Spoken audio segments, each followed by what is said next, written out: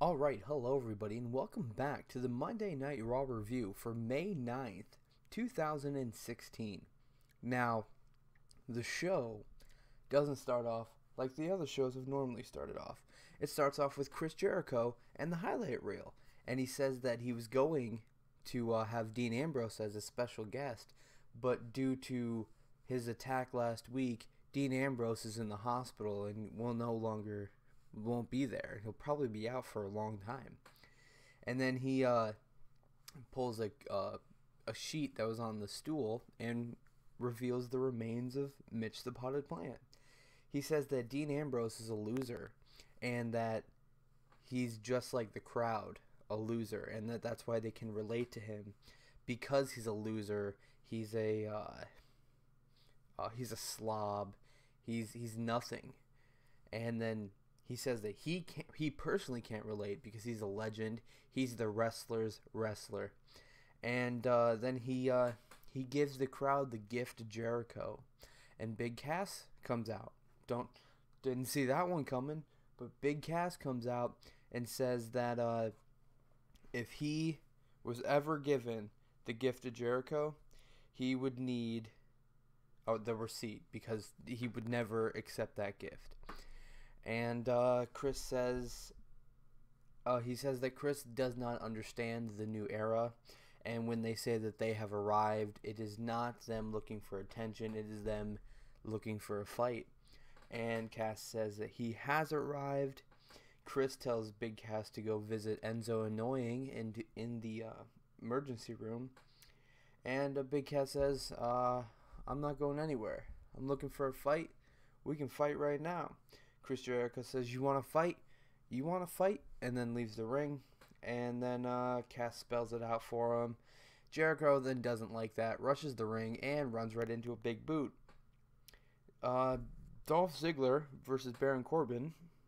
I don't really care. Match goes right outside of the ring very, very soon. Ziggler drops, uh, drop kicks Corbin over the barricade. Uh, Corbin hits a deep six one, two. Ziggler kicks out. And then Baron Corbin hits End of Days to end the match. Fandango versus R Truth. R Truth wins. Who cares? It wasn't even that long. Charlotte versus Paige. Ric Flair was banned from ringside because uh, Ric Flair and Charlotte talked to Shane to see if they could get him to reverse Stephanie's decision of banning Ric Flair at uh, Extreme Rules. And Shane's like, how about this? You're still banned at Extreme Rules, and you're banned tonight. So Charlotte versus Paige with Ric Flair not at ringside. Paige Paige took over and destroyed 90% of this match. Paige, uh, she kicks Charlotte out of the ring, and then she mocks Ric Flair with the styling and profile and walk. Uh, Paige then hits a bunch of knees, one, two. Charlotte kicks out. Paige then superplex Charlotte off the turnbuckle, and Charlotte kicks out of that as well at two. Charlotte then slams Paige, Paige's face off the turnbuckle, and uh, she goes for the pin, but Natalya breaks it up. She was a commentary. She breaks it up, and then Ric Flair comes out, gets in Natalya's face. Shane then comes out with a bunch of refs and ejects uh, Ric.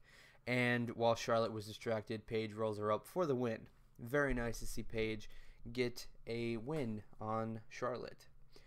Uh, Sami Zayn versus The Miz. Now, before this, uh, we go over this match. Uh, it was announced that at Extreme Rules, Miz will take on Cesaro and Kevin Owens in a triple threat for the Intercontinental Championship. And then Sami Zayn interrupted. He's like, I don't like that. I held up the uh, championship, and the crowd wants me to be the champion. Give me a shot. And Shane says, okay, if you can beat The Miz, you can be added into the match, and it'll become a fatal four way. So Sami Zayn versus The Miz. If Sami Zayn wins, it becomes a fatal four way. Uh, Miz starts off very strong. Sami then takes over with a Hurricanrana. Sami hits a moonsault. Like uh, The Miz Irish whips him into the barricade. Sami jumps on the barricade and hits a moonsault. It was pretty cool. Miz then throws Sami out of the ring, and uh, when he gets uh, out of the when he goes out of the ring, he bounces his head off the steel steps. Sami then hits a slam. It looked like the Blue Thunder Blue Thunder Bomb, but they called it something different. So I didn't know what to put, so I just said he slammed Miz for uh, two count. And then Sami hits a Helluva Kick for the win.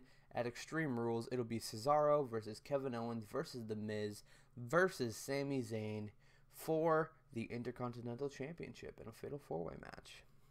Pretty pretty exciting. Sin Cara versus Rusev. Rusev starts off strong as he should. Sin Cara then plants Rusev with a DDT and he starts to take over. Sin Cara dies on Rusev on the outside. Rusev hits a super kick and I didn't see exactly how, but Sin Cara wins with a roll up. I guess that's okay. Uh, the club versus the family. The club being Karl Anderson, Doc, uh, Luke Gallows, and uh, AJ Styles versus the family, which is the Usos and Roman Reigns, in a six-man elimination tag match. Because apparently we needed to see it because we saw a normal six-man tag last week. We saw a normal six-man tag on SmackDown. So why not give us another six-man tag match between these uh, six gentlemen and not give us the Shield versus the Club because that's not what we want or anything. Uh, Karl and Jay start off. Roman then comes in and uses the Usos as weapons. Like he just throws the Usos into Karl Anderson. Uh, AJ comes in against Jay, and then Jay, uh, AJ gets out because Karl Anderson wants him. Uh, Jay then takes over on Karl. Uh, while the ref wasn't looking, Gallows hits Jay in the face, and Karl eliminates Jay. Roman and AJ then come in, but Gallows quickly tags AJ out because he wanted a piece of Roman.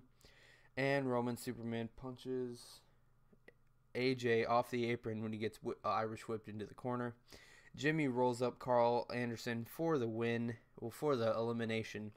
So it's down to Jimmy and Roman versus Gallows and AJ. Uh, and then it went to a commercial break, and when the commercial came back, Jimmy was eliminated. So AJ and Gallows stomp Roman Reigns in the corner, and Roman fights back on Doc Gallows, hits a, uh, Luke Gallows, hits a Superman punch, and he eliminates Gallows. AJ then instantly gets in the ring, starts beating the shit out of Roman. Uh, he hits a Pele kick.